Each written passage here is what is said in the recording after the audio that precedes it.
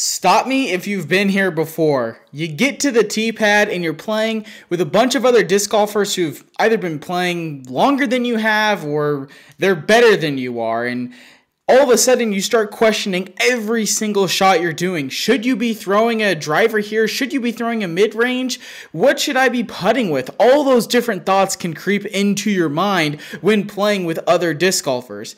In this episode, we sit down with Chandler Fry, who explains why you should be a well rounded disc golfer and why you shouldn't just focus on your strengths. You should also focus on your weaknesses and work to improve those weaknesses and how you should not always copy those other players on your card and you should stick to your game plan. Chandler Fry is sponsored by Discraft and one of the best disc golfers out on tour. And in this episode, we get to learn a little bit more about him, about his journey, how he has climbed to the top of the sport, and how Discraft ended up signing him and why Discraft has become so powerful when it comes to signing players. In this episode, you're also going to learn why clout is such an important thing on the disc golf course and why most pro players need to have that clout and need to do cool things on coverage in order to continue to build their brand and grow their exposure. You're going to want to make sure you stay tuned through the episode because You'll get to hear about Chandler's incredible dog story and how it completely changed his disc golf season, as well as you're going to hear who he thinks is going to win the 2022 Disc Golf World Championship.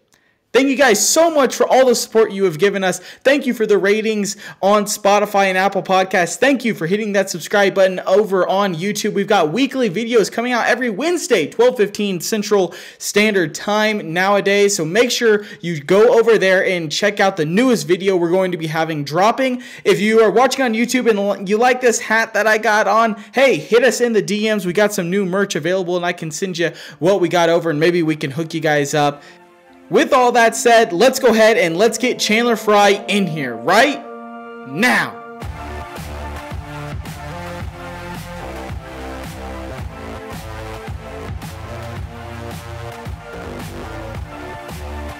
Hello, this is Chandler Fry, and you are listening to the Chain Clankers podcast.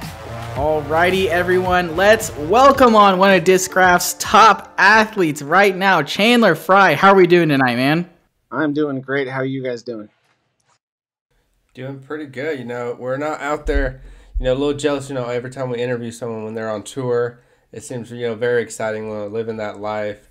Um, year on tour full time this year. Has that been kind of, how, have you been on tour for a while? This is my second year full time touring. Um, I've tried in the past. Uh, my first try was 2020, but COVID kind of derailed that entire experience. So uh, 2020, 2021, uh, 2021 was my first year, and this is my second full year.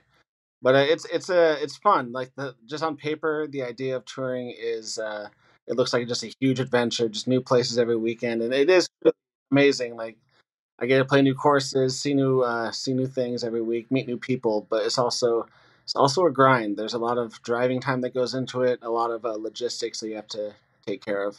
But overall, it's a fantastic lifestyle. That's awesome, man. I know me personally. The other week I went to because we're in Wichita, Kansas, and, and the, the, fiance and I we went to Colorado Springs for the weekend, and I think it was like seven hours in the car, and I was ready to rip my hair out. So shout out to you guys for being able to put the miles in. I personally could not do that. So I, I kind of want to start then. You know what what made you go from you know maybe being a weekend warrior to you know what I am going to tour. I'm going to get out there full time. What was that decision for you? Yeah, disc golf's kind of been the constant thing in my life. Like I've, always, I've had different jobs, I've been in different places, but disc golf has always been that one thing. On with the recent growth of disc golf, I, I I know I'm talented, so I was just like, I gotta try it out, see if it works out. And uh, I put I grinded last year in 2021. I played 31, 32 tournaments, played fairly decent. And uh, after Discraft reached out to me and said, "Hey, we're, we're putting you on the elite team," I knew that um, this was a true career choice for me if I chose to accept that opportunity. So, um, I, I, put I'm putting everything that I have into it right now. Um, my entire life is disc golf. I'm not really doing anything as far as uh, like even relationships. You know, I'm just like focused. So, uh, uh, this is what I'm doing, and I decided to do it, and I'm sticking to it. yeah, I mean, I you know that explosion, you know, with these last couple years, that money, you know, that fan base, that audience, and everything. I feel like it's the perfect time for you know to do that to jump into it. I feel like it's a little bit less scary for sure to be like, all right, I'm gonna drop everything and I'm gonna do this full time. Yeah. Have you know that's great. Ha, what has that done to the competition? You know, like this year compared to like a few years ago. What did what does that look like out there on tour? Yeah, the competition in the last couple years has been absolutely fierce. Like we have a lot of the old heads, um, a lot of the players, as myself, thirty plus year olds, Paul Ulibarri, Nate Sexton, uh, Big Jerm, who are still absolute shredders. Even like Paul, you know, they're all insanely talented. Um, but now we're seeing these younger kids coming in. I, I'm playing with kids who I started playing disc golf before they were born. It's absolutely insane. Like uh, Gannon Buhr, Cole Redalen, Ty Love, some insane talent. Um, it's great to see. Um, it means the future of the sport is bright. But at the same time, as a competitor, I'm just like, stop, you know, give me a.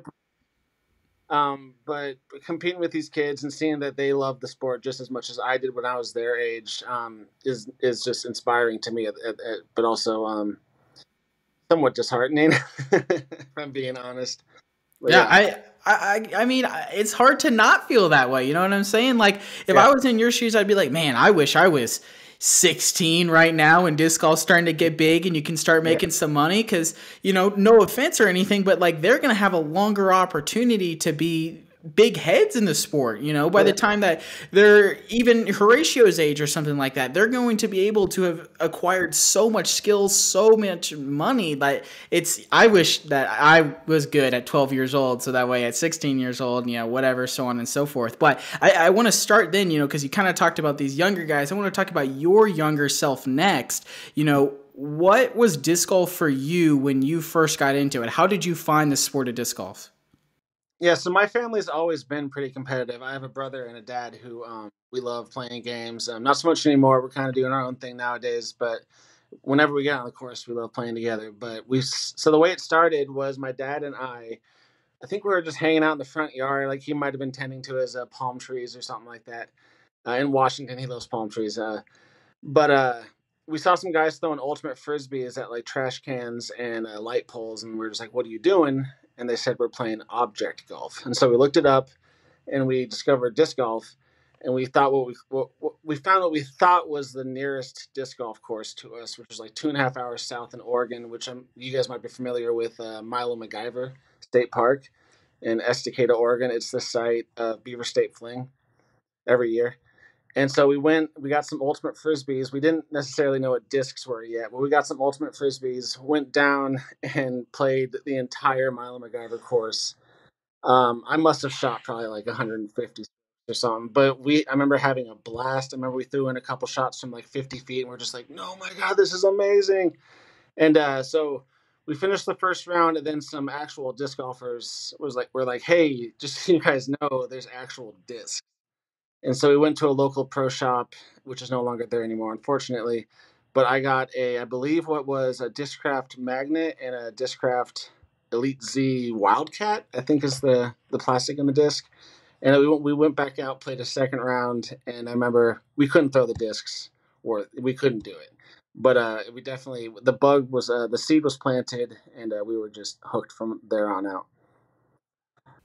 So what did that look like? You know, did you guys look for more courses? Did you play locally? Because you said, you know, about two hours away. That kind of sucks, you know, if you really want to play yeah. the sport. Did you later find out that there was some other ones closer, or was that the one that was the closest? Yeah, there were some of courses that were a lot closer. We lived like 30 minutes away from uh, Steilacoom Disc Golf Course, which was the, one of the oldest courses in the country, actually, like built in the 1970s. But uh, my dad and my mom, um, they actually ran a puzzle business, which is kind of odd but cool. And so they traveled up and down the I five corridor on the west co- west coast doing craft shows and uh, festivals. And so on those trips, my dad and I and my brother, um, and at times my mom would join us. Uh, we'd uh, stop at we'd have like the book, the PG, PDGA directory, and we'd uh, get the directions from the book and head on to the nearest course and play those like every trip and we used to keep track of all the courses we played, but at, at some point there was just too much. We ran out of room, and uh, we just we just played for the fun of it. So, yeah, that's awesome. How long did you just kind of like play for the fun of it? Like, when did you kind of start taking it more seriously? Yeah, so I started playing like late 2002, and in 2003, my dad and I, my dad was like, "Let's play a tournament, might as well." And so we signed up for a novice tournament at um, Timber Park, which is actually like 20 minutes from Milo McIver in the same town.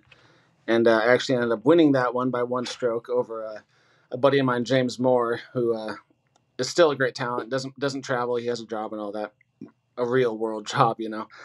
Um, but yeah, so we we that kind of got us hooked into tournaments, um, and then we started playing more and more. And I think I played intermediate for a year, advanced for two years, and went pro in two thousand like late two thousand seven, early two thousand eight. And uh, yeah, I've been playing pro since then, so about fourteen years now. Was there something from the very beginning that you were kind of naturally good at? You know, distance or putting or approach or anything like that? I honestly I can't remember if I was good at any one thing when I first started, but like in the first couple years, the first maybe three years, I identified putting as kind of my uh, my my signature. I remember focusing on that, putting a lot of hours in my backyard putting, and making sure that when I did go to tournaments, like I can be a sprinkler system off the tee pad, but if I made that fifty footer, that's all that really matters. So, and that's that's definitely carried on to who I am now. I think if people think of me and they ask themselves what I do best on the course, it's uh it's on the green. I'm uh, I'm definitely working towards getting better off the tee pad, and I think it's show, showing somewhat in the stats this year. Um, but yeah, putting is my thing. Nice. So I, I have this question that I've kind of been holding on to for a really long time since Horatio and I had done an episode on this. It, it was kind of like a hot take debate ish kind of question. Pretty much the way the question went was Would you rather make every single putt within circle one, or would you rather be able to throw 400 feet, you know, every single time you threw. Like 400 was literally zero effort at all. So I wanted to ask a, a, touring pro like yourself, someone who is really good at putting, who has good distance, for maybe maybe for you, and then maybe just you know for the average course or whatever. What do you think would be more valuable, being able to throw 400 feet with zero effort, or making every single putt within circle one? I'm immediately going towards the putt because putting wins championships. There's a in almost every single world championship playoff, every single elite series um, playoff, it comes down to a putt, whether it be like even a 15 foot putt or even like a 35, 40 foot putt. Like if I can take it, take the opportunity to make every single putt within 33 feet, I would definitely take that because that would take away the nerves and I just, I just start winning everything, you know. Um, but being able to throw with with ease would be kind of nice as well because sometimes you're just like especially at a course we're playing at this week in the Thorn in uh, Tyler, Texas. It'd be nice just to be able to have that easy distance. But I'm going with putting all day. Putting wins championships. Yeah, you know the more the more we play and the more we we get out there, it's definitely that's more of the stressful portion. But you know, I feel like my argument of for that question was that to be competitive, you have to be able to throw 400 at least um, you know, without without much much effort to be, you know, especially on tour, to be competitive, you to get those birdies at least, um, you have to be able to have that distance. I agree, and and like the courses we've been playing in the last few weeks, at least the opening part of the 2022 tour, like 450 feet is like a necessary distance these days, because most of my competitors are 500 plus easy, and I'm like 500 plus on a good day. So I think that's why the putting, the, yeah, that's why I, I'm a putter guy. So. If you're somebody who like yourself you know you say that putting is very crucial and you have to have that good putt uh, in order to be competitive and to potentially win is that one of those things where you should almost hyper focus in on your putting understanding that that's what's going to give you an opportunity to win the most? Or should you try to spend more of your time trying to gain that distance or accuracy? What, what do you think someone should work on more yeah, I think it should be a pretty um, balanced effort in your practice. You should be you should be doing all the all the tricks and should be getting all the tools in your bag. Um, I think putting put, practice putting is probably the easiest form of practice. You don't have to go to a field.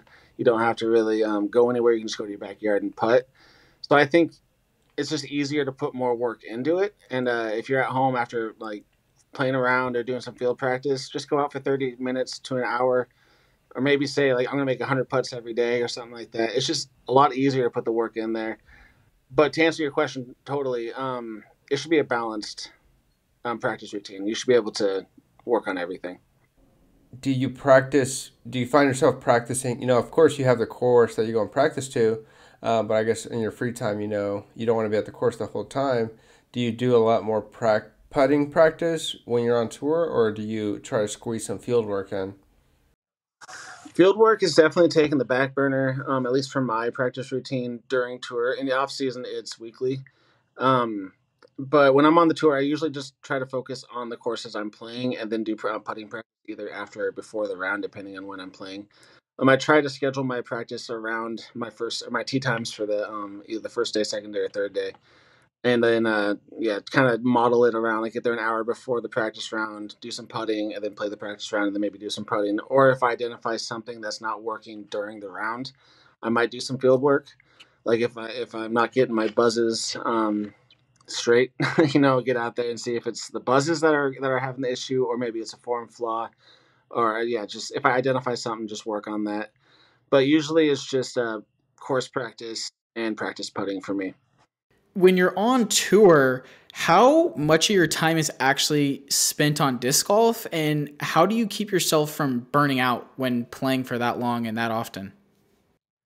Yeah, burnout is an absolutely real thing on tour. I know, I know even right now, like this is one of the hardest stretches of the tour, the first uh, the first month and a half.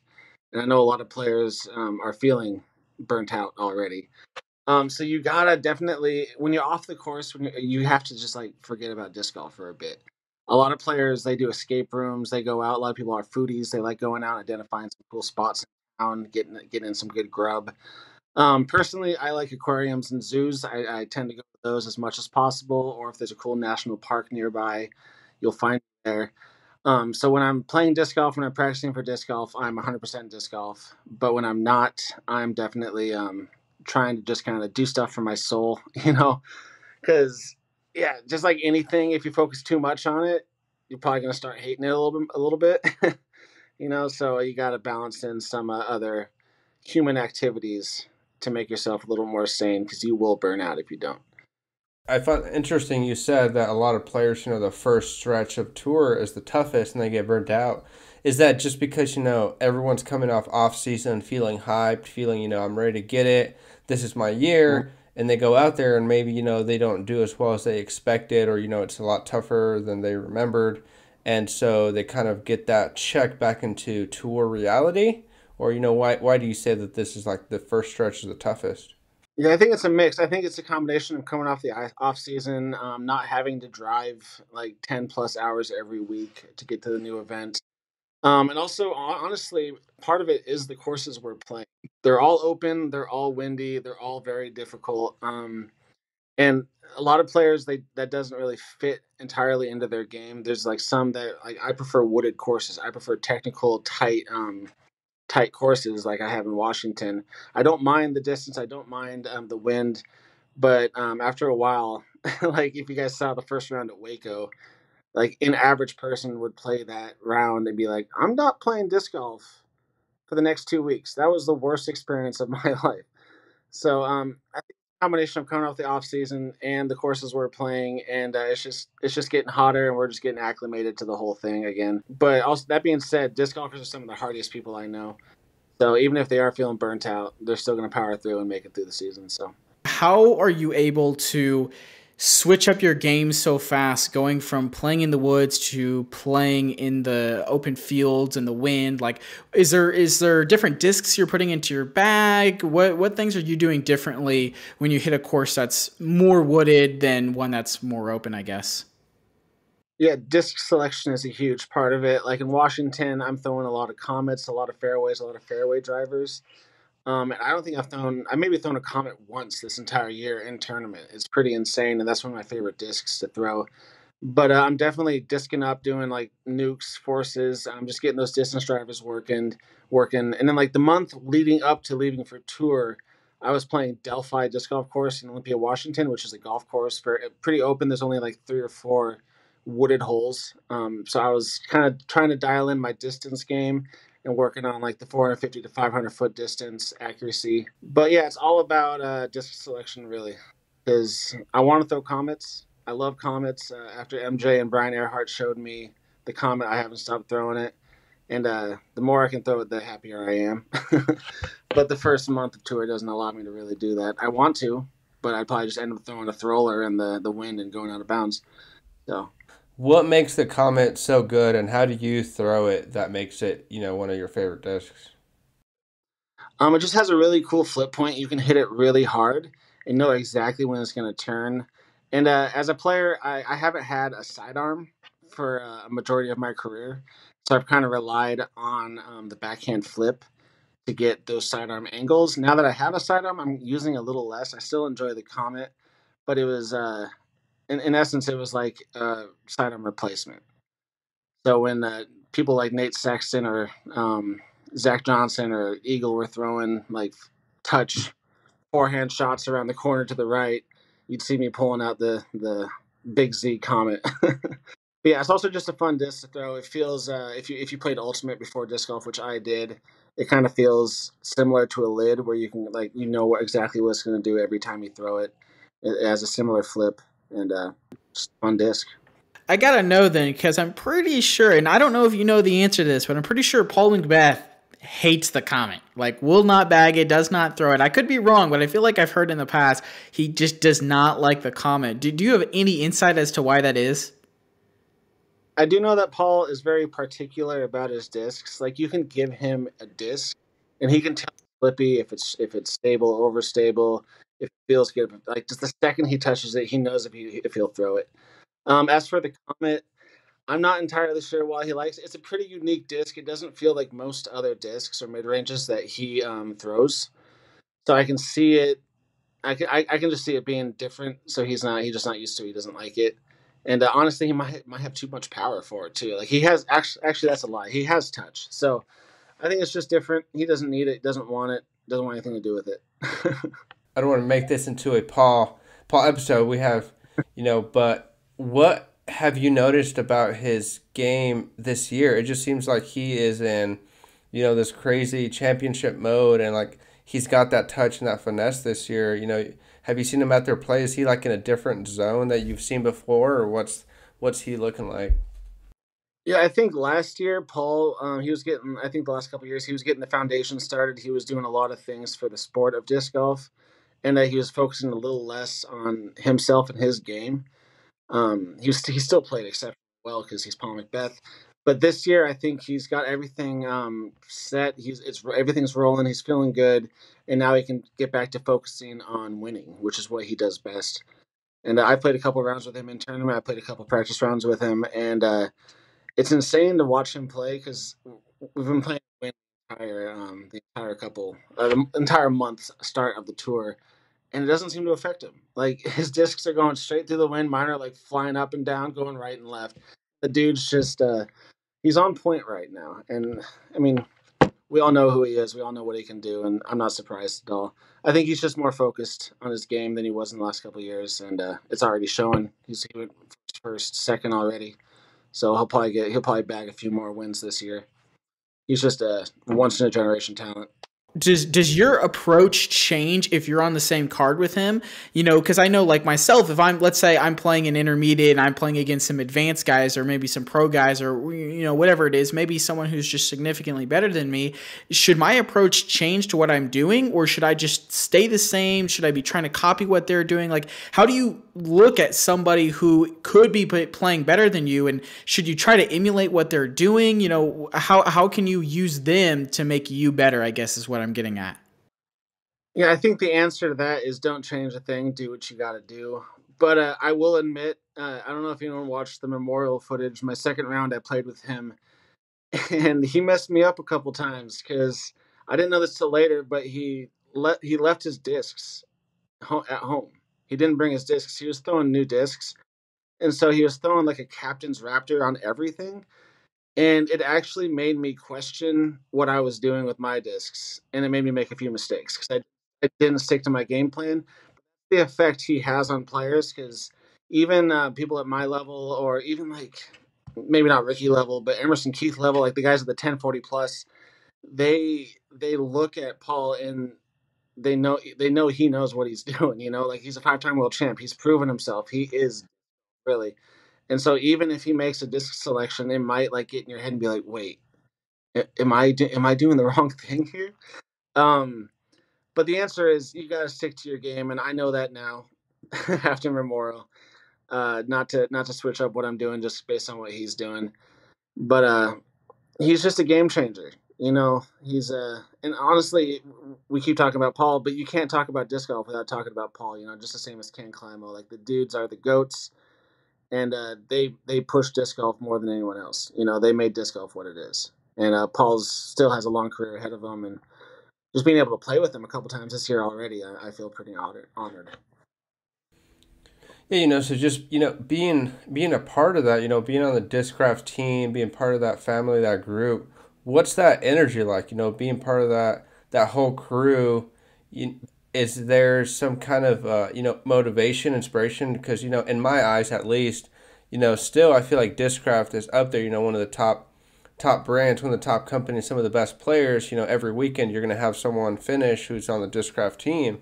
So you know, they're kind of the ones you know at the top. Is there a different energy, you know, that you're carrying into tournaments? You're feeling, you know, especially you know having that name on your back. What's that like? Yeah, absolutely. That's that's a great question. Absolutely, like the confidence that I have this year going into every single round with Discraft on my back is just it's I've never felt it before. Just being a part of something like that. Um, Bob Julio at Discraft Disc Golf has created one of the best teams disc golf has ever seen, and uh, like being tapped as one of the guys on the on the elite team, like I can't help but just be like, wow, well I made it. I'm here. I am. I'm, I still have a lot to prove, but having the support of disc golf uh, of Discraft um, is just amazing you know, and knowing that I'm right up there representing the uh, the brand with Paul McBeth, Paul Ulibarri, Presnell, Corey Ellis, all those guys, it's just uh, unbelievable. And it, it, definitely it definitely correlates into better play on the course. And also, I mean, I their discs, uh, like the consistency is amazing. I can grab any one of their discs out of the box and know what it's going to do. You know, I'm not I'm not just saying that because I'm sponsored. You know, it's it's unbelievable compared to all the other sponsors I have. Discraft is is way up there. Is like is the best. So yeah, I, am really glad that you said that last portion because Horatio and I, we've had many conversations about how some other manufacturers, sometimes you'll pick up a disc and it'll fly one way the first time you get it. Uh, okay, you threw it in the river, now you got to go get a replacement.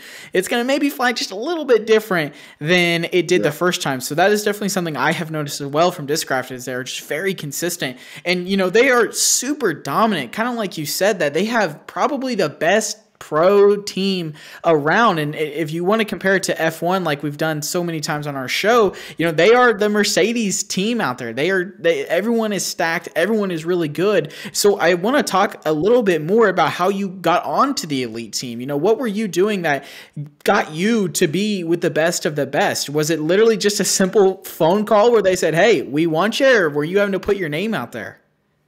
Yeah, so I first started on Discraft in 2019 after being on Latitude for I think five, just uh, like five, a little under five years. Um, and Ulibarri called me up. I was actually t- in talks with DD, um, it, uh, with Eric McCabe about getting on their team. And Ulibarri called me up. He's like, "What do I got to do to have you put Discraft on your back?" And I was just like, honestly, at this point, I don't know what I'm doing with my life or my career, so not a lot. And so he was like, "Hey, what if you play for pay for A tiers and above and give you some fun and I was like, that sounds fantastic. Let's go. And at that point, I was kind of thinking about um, disc golf was just kind of starting to get get going. You know, uh, it wasn't really, it definitely wasn't where where it's at now, but there you can definitely there was definitely some hints of uh, progress happening. And so I was still thinking, I'll probably just have a nine to five job and be a regional warrior, you know, a regional player. And uh, but disc like having the discs that made me a better player. I realized I, I do have the talent to compete still with with these players that are out there right now. And uh, i went on tour in 2021 and as i said before i grinded. I put 31 tournaments in there.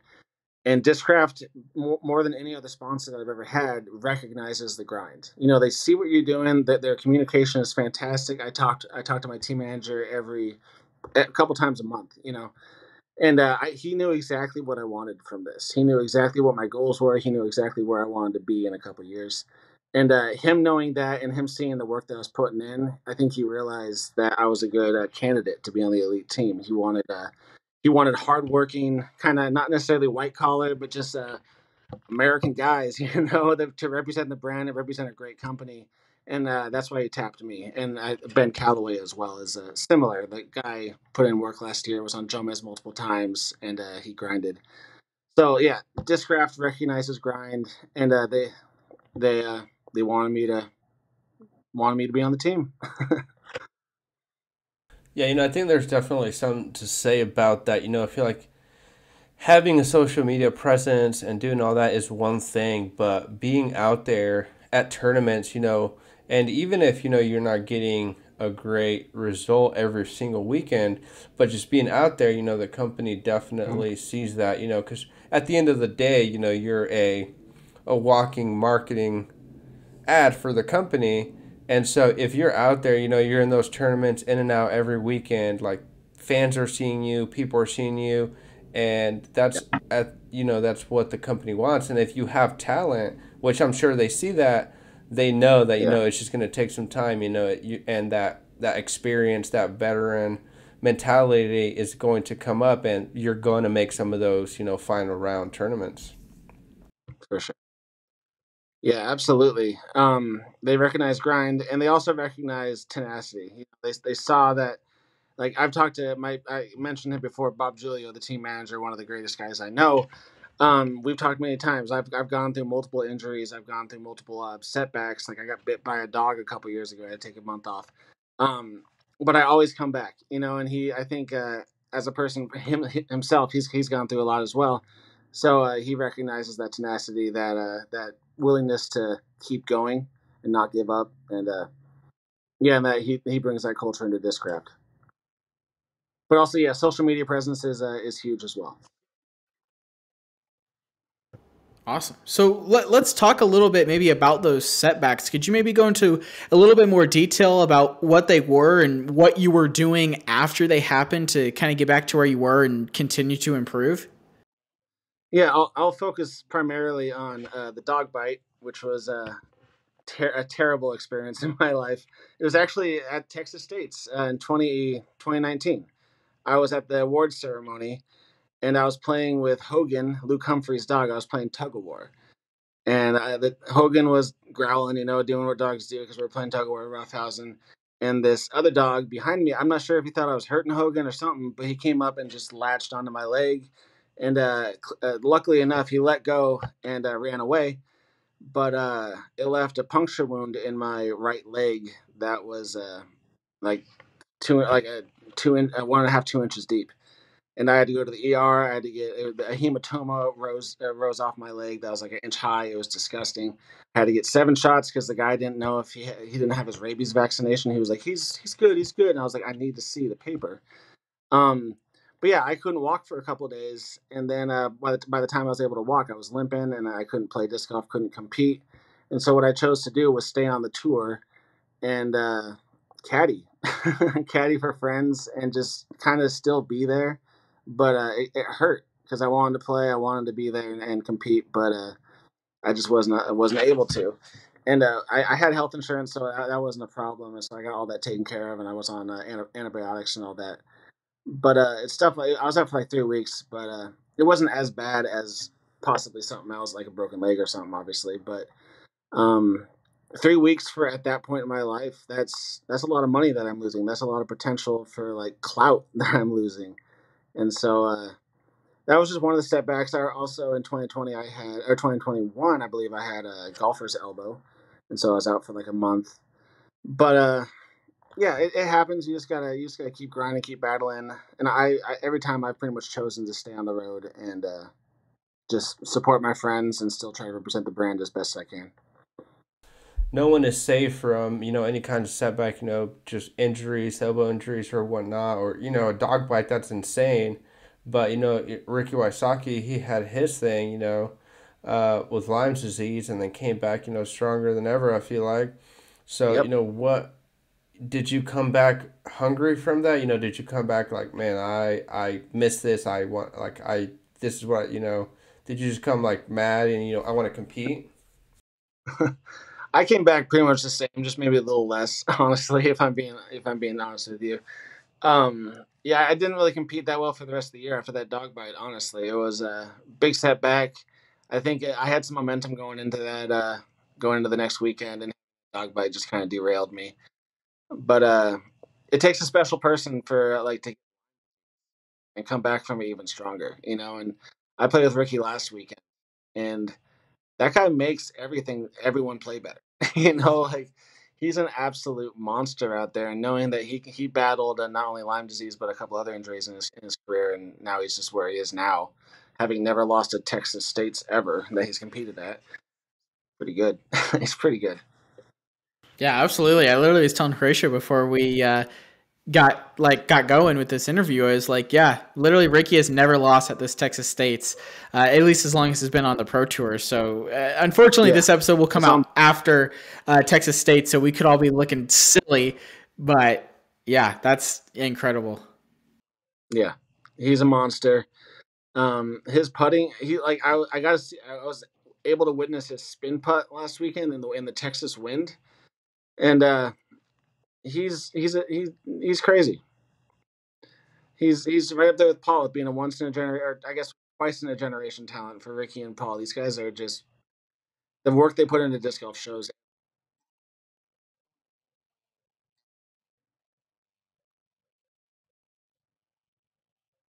Yeah.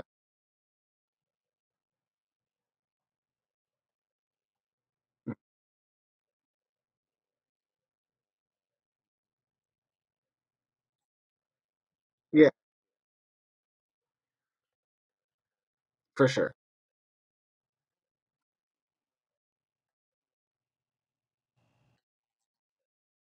Mm.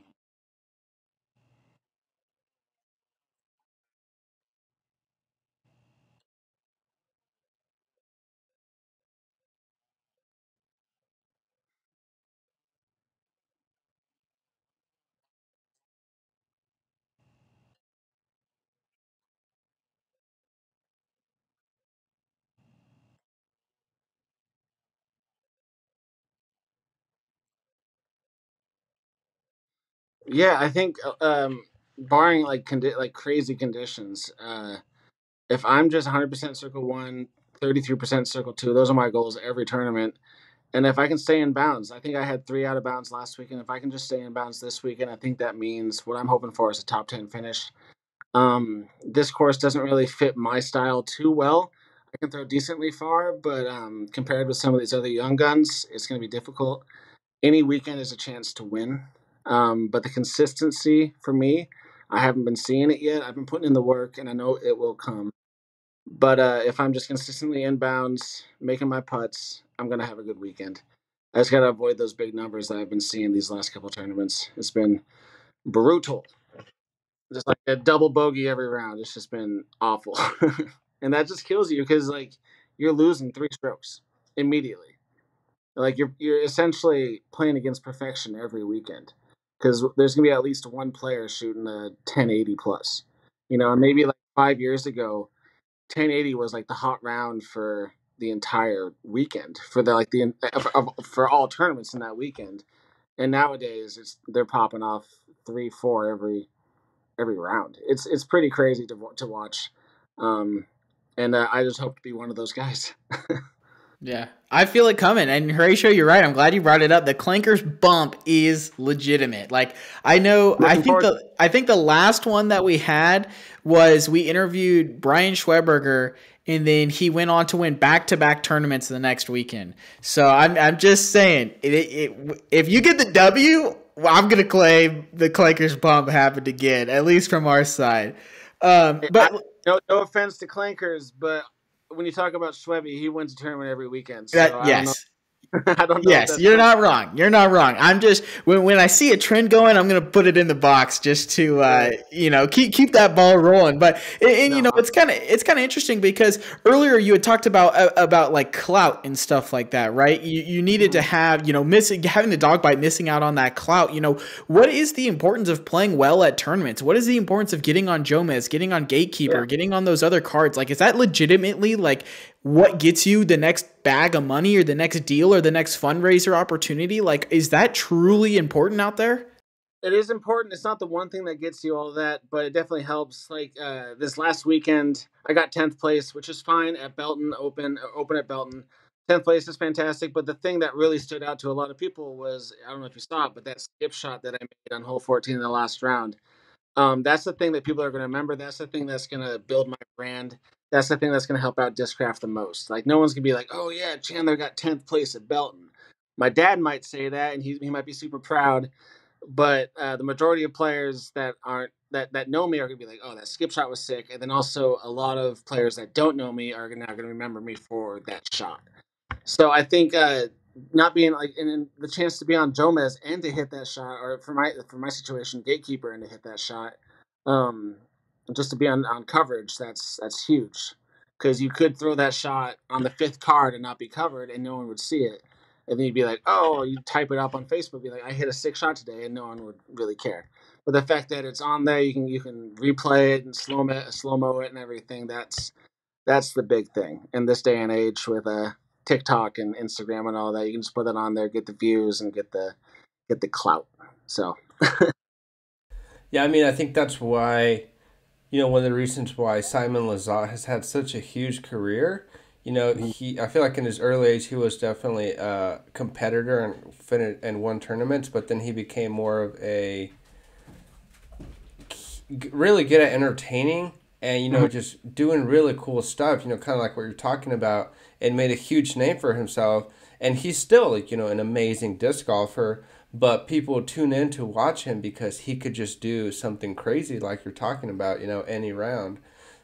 Absolutely. Uh, he is one of the greatest throwers of the disc to ever exist.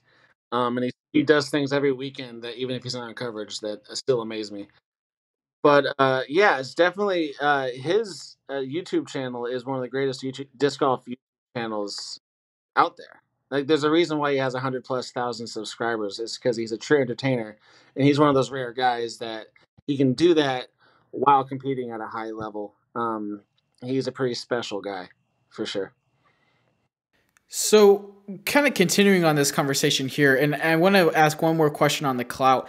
When you're on coverage, is there ever a moment where you're thinking to yourself, I should go for this six shot because if it works, it's going to be awesome or do you does any none of that comes into your mind you're just focused on your game or or do you think about you know if i do this and i hit this this is going to be pretty cool and a lot more people are going to see it yeah, I think that thought kind of creeps into your mind if you're playing bad. You're just like, well, screw it. I'm gonna go for this crazy gap, or I'm gonna go for this. Uh, I guess not. I didn't. I, I wasn't thinking that when I threw my skip shot, but uh, yeah, it, it, definitely is a thought that goes through your head. Like, oh, if I also on the on the other side, if you make a huge mistake, you also know that's on coverage as well. So this definitely brings another element into your game plan, but ultimately you're still sticking to your original strategy or at least you should be. There's the players that um, do do crazy things because they want to stand out.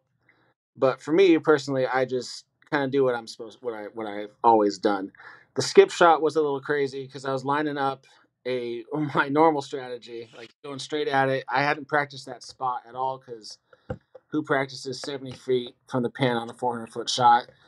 You don't do that unless you land there every single time, which I didn't.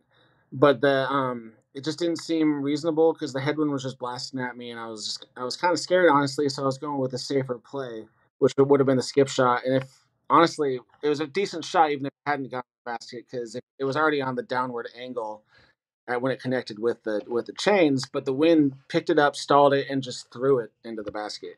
Um, kind of a one in a million opportunity right there, or just a chance shot. It was a good shot but my intention was definitely to get it close to the basket, not necessarily into the basket. But uh, the fact that it was on coverage after, like after I, I made it, like walking back to the next tee pad, I was just like, oh crap, that's that's gonna be on YouTube, you know. So it's definitely a thought that goes through your head, but the more seasoned players, that they don't they don't necessarily care about it that much. If anything, it makes them play better because they want to show the world what they can do. You know, talking a little bit about that, you know, being at home, it's very easy to be, you know, seeing a player that's not used to being on lead card or on Jomez or something like that, going on there and then seeing them kind of just fall apart. Um, how real is that? You know, being going and making making the lead card or making coverage card, um, and having those cameras on you, what does that feel like? And you know how it's it's very easy from home to be like, oh, you know, why are they playing bad? Like there's it's just another round. As fans, you know, but as a player, what does that feel like, and like how real is it, you know, or like can you remember the first time for you and like how it how it felt? Yeah, it's uh, it's very real. It's very real because um, for the younger players or the players that are, that are still new to the tour on coverage for the first time, they know that everyone's going to see it, you know. And so the first mistake happens, and uh, they they kind of fall apart because it just snowballs and snowballs because the stress builds. Also, being on the lead card without cameras is stressful enough. Like like we're talking about Paul, you know, and Ricky, like playing with those guys, um, it's stressful, you know, because you don't want to look like an idiot in front of those guys. So uh, uh, there's a lot of elements that kind of compound as you get on that lead card, and having Jomez like 350,000 subscribers um, and knowing that people are going to be in the comments being like, "Oh, why he missed a he missed a twenty footer that that idiot," you know. so, um, for the more seasoned players, like personally for me, I love being on camera, even if I play bad, because I know people can see that I'm loving what I'm doing, and people can see that I'm playing disc golf for a living. And uh, if anything is good for the brand, it's good for Discraft, just being on film. Um, but for the younger players, they're definitely more like, "Oh my gosh, I got to do crazy things," and if I don't if I make mistakes, it's going to be bad for me and everybody. But I think it's just an experience thing. The more you do it, the easier it gets. It's kind of like uh, if you go to like a McDonald's and you go in the back and start filming a cook, they might get nervous, you know, because they're like, they might drop a burger or something like that. So it's kind of similar, but if you kept on doing it every day, it might be easier. So. I really like that analogy. That's a good way to end that conversation, Chandler. I love it. Let's jump into the hot take. What do you got for us today? Uh, my hot take was that uh, I really do believe this is true, and is that that's we're going to see a world champion in the next three years. Because we were talking before on this episode um, about Cole Redalen, um, one of my favorite players from Oregon. Oregon. Kyle Love, also from Oregon. We've got Gannon Buhr, who almost just won uh, Las Vegas Challenge, and uh, unfortunately uh, lost to Drew Gibson. Congratulations, Drew Gibson. Nothing against him. Fantastic player. But I think one of those guys, maybe not necessarily those three, maybe probably Gannon, honestly, because he's just getting better. Um, they're gonna put together a really good run at a world championship and possibly win it. And this year, honestly, might be the year because we're playing in uh, Kansas, so it's gonna be windy. It's gonna be actually pretty similar to Las Vegas conditions, and Gannon obviously showed that he can he can beat us, beat all of us. So uh, I'll say it. I'll say it right here on this show. Gannon Buhr is going to win 2020 Worlds. If not, it's going to be me. We've talked about this on the show before about Worlds and kind of what it means, and you know, winning Worlds. You know, an argument I've had is, you know, what makes that tournament of Worlds different from the weekend before and the weekend after it, you know, that gives it that notoriety. You know, as someone that's on tour, is it that much tougher? Or do you think that world should be something that's more, you know, kind of at the end of the season, it's more built up and it's more based off the season and points or something like that? Or do you think the way it is now is good for just anyone to have the opportunity to go and be, you know, world champion and win that tournament? Yeah, I like the I like where it is right now because we have uh, we have the Disc Golf Pro Tour Championship, which kind of is what you're talking about, where it's like based off the points for the season and top 32 players. Um, but I think yeah, Worlds is a Worlds is a special tournament. The title of world champion holds a lot of a lot of weight, um, and uh, you can see like after James Conrad had that finishing putt, you can just see the pressure that was lifted off his shoulder. You can just see the just like oh my gosh, this is amazing. My life is going to be completely different after this. Um, such a cool moment, and uh, I think it's perfect where it is. I, I, I wouldn't change a thing. I wouldn't want it at the end of the season because I know a lot of players are already like, I'm so done with all of this. So I think where it is in like somewhat kind of the middle of the middle of the year is is a good time for it because that's when a lot of players are playing at their peak and that's when we're going to see the best play. That boy Gannon is, ooh man, he is tough. He, it, yeah, Kansas is going to be a super fun. World Championship. I'm excited. Hopefully, Horatio, you and I will be able to slide on through and at least watch it. That'd be pretty cool because it's only hour, hour and a half away from us. So this is the time to go because it's going to be a long time before it comes back to DDO. But that was a good hot take. I like it. I also will uh, just add in my two cents. I think Kyle Klein. I know he hasn't started yeah. off the best. But I still am going with my prediction that I think he'll finish inside the top five at the end of the year, and I think he definitely will have a shot at the World Championship. So I, I I'm gonna throw Kyle out there, but yeah, I, I love that. I really like that. But let's get into the ace round, Horatio. Why don't you explain that for the newer viewers and get us going with the first question? Yeah, I'm excited about this. You know, I I love Discraft. You know, I have no reason to you know put a certain you know company in my bag or specifically, but you know I just I like I love Discraft. You know the consistency, the the swirls they make really pretty discs. So you know I, I was excited for this episode. I'm excited for this question. You know you're taking a player to get their first set of discs. What one putter, mid, and fairway or driver would you recommend them by? Well, the first putter I ever had was the Magnet. I wouldn't recommend that one. It's a bit, little bit. It feels a little weird in the hand, but the most popular putter that I'd go with is the Challenger. Um, just base plastic, Pro D plastic. It feels good. It flies good. It's a good starter plastic. Uh, for the mid, you got to go with the best mid range ever created. The Buzz, get that ESP plastic, nice and grippy plastic, nice and straight. It'll teach you how to disc fly is better than any other disc you can throw. Um, and for the driver, I got to go with the Chandler Fry Tour Series Discraft ESP Swirly Surge. This thing is fantastic. It's a it can fit in anyone's bag. Um, it's got some good torque resistance. You can put some turn on it. It's good for forehands, good for backhands. If you want to throw a tomahawk with it, go ahead. It might not work out too well, but um, it also has my name on it, so it's gonna fly well. What uh what what kind of like stability is it? Where can people pick it up? And and I do have to ask, was the Surge not in production and then you brought it back into production, or was it just not very popular before you put your name on it? Yeah, it's been out of production for quite a few years. There's been some limit limited runs. I know Ledgestone um, just did a run of Big Z Surges in their latest wave. Um, but it was completely out of production. It's not in their normal production schedule, so I have brought it back, and it is better than ever. Um, the, it's a 11 speed. It's 11.5 nig 1 3. So it's kind of similar, and it's like in the same realm as the Rake, kind of right up there. I like to think of it as somewhat of a faster Vulture. So I think a lot of people are missing that um, gap in their bag, that 11 speed. Uh, if they, yeah, and it's a 1.7, I believe, stability rating, so it has some good stability. Um, it's just a good flyer, and if you watch the latest episode of or latest round or last round, geez, of the Open at Belton where I play in the chase card on Gatekeeper Media, you can see me throwing it everywhere and see how a pro pro throws it. Nice, awesome. Well, hey, let's get to the second question here. Yeah. What is the favorite course you have played, and one course that you have yet to play that you want to cross off the bucket list? Uh, my favorite course has got to be Milo McIver. It's the first course I ever played, and it's the site of Beaver State Fling. Like I said, my favorite tournament of the year every year. I've played it like eleven or twelve times.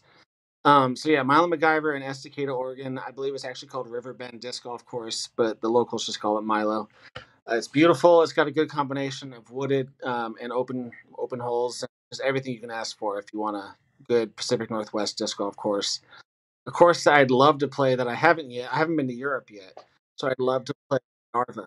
Um, that course, I've watched European Open f- footage hundreds of times. So um, if I can go out there and play there before, I, I heard it was possibly closing. I'm, I do not think it is anymore, but there's always that lingering uh, chance that it might be going away. So I want to get there before it closes. Okay, sweet. Yeah, that one looks like a beautiful course. You know, hopefully, I'm excited to see some of that coverage this year. If you know some of those tournaments out there, just in Europe yeah. in general. All right, next question we got for you here is, you know, one tip you would give to yourself when you started taking, you know, disc golf seriously. Uh, learn a forehand. Um, I when I first started, I was just backhand, backhand, backhand, and I didn't really even give any credence to like the importance of the sidearm. So I think if I was to go back in time and find my 13 year old self, I'd say get that forehand going because you're going to need it a lot with your if you choose to be a touring professional. Um, I have a decent one now. I've worked on it quite a bit in the last couple years. Um, Nate Sexton, who I've stayed with uh, multiple times in the off season, has helped me out quite a bit. Just uh, talking to him about it and playing a lot of practice rounds with him and just watching him because he is one of the sidearm goats. And then uh, also watching Big Jerm. That guy has the best finesse I've ever seen. So, um, but if I was to go back in time, yeah, you got to have all the tools in your bag if you want to be successful. And sidearm is a big uh, is a power tool. So. Yeah, just real quick for that one. You know, I feel like before back in the day, you know, I've heard and seen a lot of stuff. People didn't, you know, put a lot of importance into into sidearm. Um, you know, I've seen more players recently, and even Eagle McMahon throwing with a left or throwing with their other arm. Do you mm-hmm. think mm-hmm. that throwing with your other arm for our time now is that new version of sidearm? You know, do you think in mm-hmm. like 10 years players will be like, I wish I had practiced with my other arm and was at least decent in it?